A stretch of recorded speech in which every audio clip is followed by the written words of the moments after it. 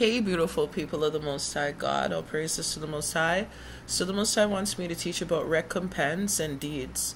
And um, it's basically cause and effect with recompense and deeds. So, your recompense good for your good deeds, or your recompense punishment, judgments for your deeds. So, your deed, your recompense is according to your deeds. So, um, and, and nobody's exempt by that. So, your good deeds, your recompense good from God, your bad deeds, your recompense punishments. So, this is what he wants you to know, right? That people are being punished, as I've been saying for months now, for the things that they do, their deeds, but they've been, you know, projecting and blaming others for God recompensing them. And a lot of people don't have a spiritual understanding um, that there's repercussions when you do sit do do sin and certain things happen to you but they're they they take god out of the equation and just you know think that's just life or somebody did it to them when they need to come out of that mind frame. So god wants me to explain recompense and deeds how they work hand in hand and the cause and the effect of such things. So um, isaiah 65 and 6 behold it is written before me I will not keep silent, but will recompense, even recompense into their bosom. Um, okay, so with recompensing now. So in Jeremiah 25 and 14, for many nations and great kings shall serve themselves of them. Also, that's the children of Judah and the children of Israel, and I will recompense them according to their deeds. So these great kings, God will re- and the nations, God will recompense them for their deeds. So recompense is according to deeds and according to the work of their own hands.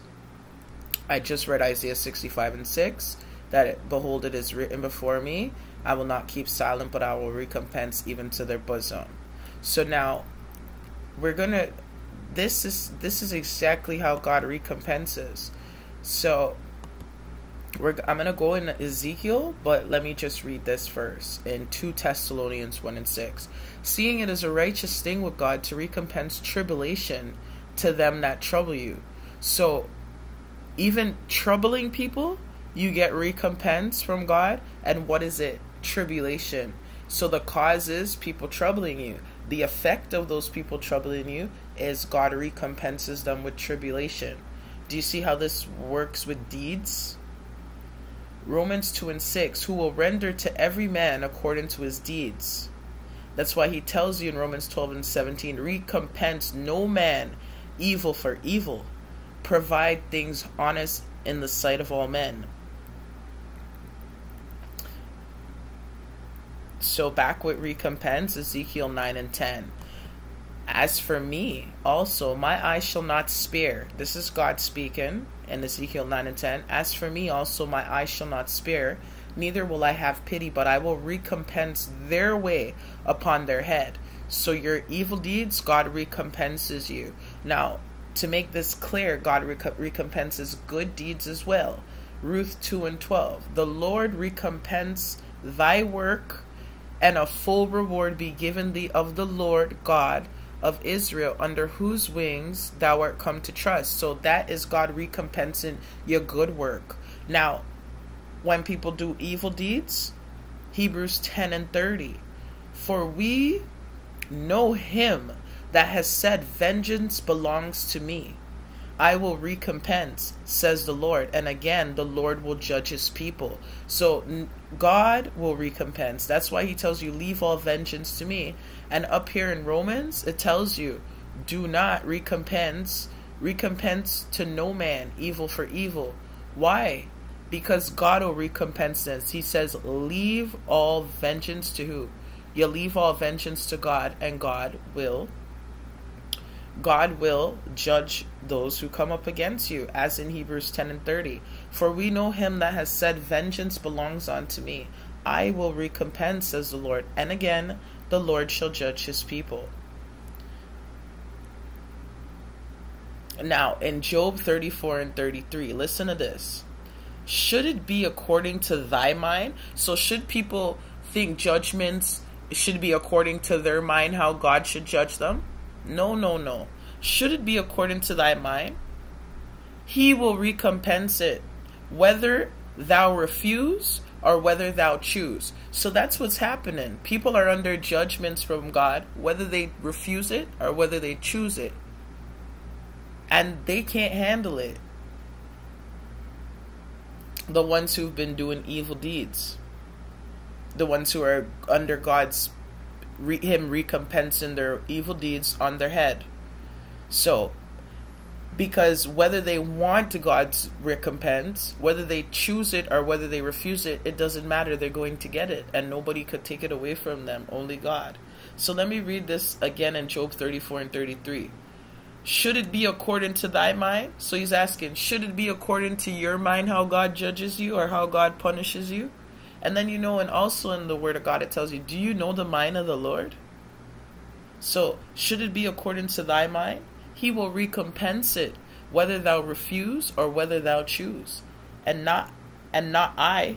Therefore, speak what thou knows. He said, Job tells you he's not going to repent, recompense you. He just told that man he's not going to recompense it.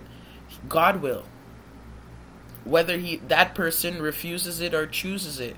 And that's what people had to understand. Whether the nations, whether you, your family, your friend, your neighbor, the nations, the people who came up against the body of Christ, whether they choose it or whether they refuse, God recompensing his punishment on them, that that has nothing to do with nobody because they can't remove it. Only God can. And that got nothing to do with anybody else but them. So recompense is according to your deeds. Now, even the children of Judah and and Jacob, did God go um let them go unpunished? No, He will not let you go altogether unpunished. Jo- Hosea 12 and 2 The Lord has a controversy with Judah and will punish Jacob according to his ways, according to his doing. Will he recompense him? Remember, as though the children of Israel be as the sand of the sea, only a remnant is going to return unto God. You have to know that people have revolted against God, have rebelled.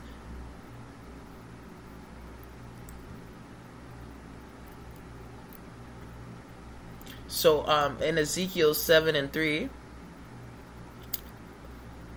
now is the end come upon thee, and I will send my anger upon thee, and I will judge thee according to thy ways, and recompense upon thee all thy abominations. And my eye shall not spare thee, neither will I have pity, but I will recompense thy ways upon thee, and thy abominations shall be in the midst of thee. And you shall know that I am the Lord. Thus says the Lord God, and evil, and only evil, behold, is come. The end is come, the end is come. It watch for thee, behold, it is come. Now, you have God recompenses. Now will I surely pour out my fury upon thee and accomplish my anger upon thee. And I will judge thee according to thy ways, and will recompense thee for all thy abominations. And then he goes on to say again, And my eye shall not spare, neither will I have pity. I will recompense thee according to thy ways, and thy abominations that are in the midst of these. So how can people blame other people for be recompensed recompensed by God according for their ways and their abominations? They want to blame people for their ways and their abominations, and God recompensing them for what? Their ways and their abominations. Behold, the day, behold, it is come, the morning is gone forth, the rod has blossomed, and pride has budded. They're so prideful. Violence is risen up into a rod of wickedness. None of them shall remain, nor of their multitude. I told you, prideful people run in packs. They need an entourage. They need an entourage doing all kind of violence, trying to win at all costs. Let me read this again. Behold the day. Behold it has come. The morning has gone forth. The rod has blossomed. Pride has budded. Violence is risen up into a rod of wickedness. None of them shall remain. Pride comes before a fall, a haughty spirit before destruction, nor of their multitudes, nor of nor of any of theirs Remember, prideful people like a lot of things. Neither shall there be wailing for them. Ain't nobody going to be crying and wailing and mourning for them. Because they're wicked in their deeds. And they were prideful. They looked down on people. The time has come. The day draws near. Let not the buyer rejoice, nor the seller mourn. You know, you, you, I don't know if you understand about the banking systems right now, but the time has come. The day draws near. Let not the buyer rejoice, nor the seller mourn, for wrath is upon the whole multitude thereof. You understand? God, what God, the wrath is on the whole multitude thereof. The day of wrath, it God is punishing the righteous and the unrighteous. Everyone just thinks, um, God is just saving the children of Israel. Yes, but He's also He's not leaving them altogether unpunished. They still got to repent. Doesn't it tell you that they're going to be crying out to the Father, crying out to God? Yeah, they still have to repent. They're not going altogether unpunished. And the multitudes thereof, no, nobody. He's punishing the righteous with the unrighteous. For the seller shall not return to that which is sold, although they were yet alive for the vision is touching the whole multitude thereof. Everybody is going to be affected by God's judgment and his recompense. Um, I don't know if you watched maybe a year ago, he made me walk and speak about that, that judgments affect everybody. Like when it snows, um, it, it snows and it'll affect good people and and unrighteous people, people who serve God and people who serve Him not, people who believe in God and people who don't believe Him. They're still affected by a snowstorm. This is how His judgments is coming for people. So they better learn how to be nice to people. They better learn how to love people. They better remove racism and prejudice and discrimination from them. They better learn how to forgive and show mercy because the vision is touching the whole multitude thereof which shall not return, neither shall any strengthen himself in the iniquity of his life. So you see all that iniquity people were strengthening themselves, whether it was their money they were using in, to strengthen themselves, whether it was their job, their occupation, their status, whether it was witchcraft, sorcery, or Satan in their life, or you know, secret societies, whatever they were using to strengthen themselves with their iniquity in their life, it ain't gonna be no more. Everybody on the judgment. This is what they they're not getting. They have blown the trumpet even to make all ready, but none goes to the battle. For my wrath is upon the whole, upon all the multitude thereof. Cause every knee is gonna bow and every tongue is gonna swear, bef- that God before God. So He's gonna make people fall to their knees. You understand? And this is what they don't get. Everybody's gonna have to reverence God.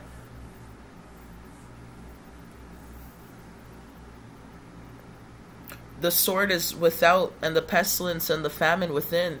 He that is in the field shall die with the sword, and he that is in the city, famine and pestilence shall devour him. Why would famine and pestilence devour people who live in the cities? Is there, do you see plants growing in the cities? Do you see trees and fruitful trees and all these fruitation in the cities? No, it's a concrete jungle, so the people will die of famine. They have to go into the grocery stores. They're not self sufficient. But they that escape of them shall escape, and they shall be on the mountains like doves of the valley. What mountain is that? Upon Mount Zion shall be deliverance. All of them mourning, every one for his iniquity, mourning to God, repenting. All hands shall be feeble, and all knees shall be weak as water, because of praying on your knees. They shall also gird themselves with sackcloth, penitence, mourning, and horror shall cover them, and shame shall be upon all faces, and baldness upon their heads. They shall cast their silver in the streets, and their gold shall be removed, because it's not going to matter.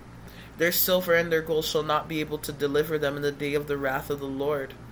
They shall not satisfy their souls, neither fill their bowls, because it is the stumbling block of their iniquity. What is the stumbling block of their iniquity? Their gold, their silver.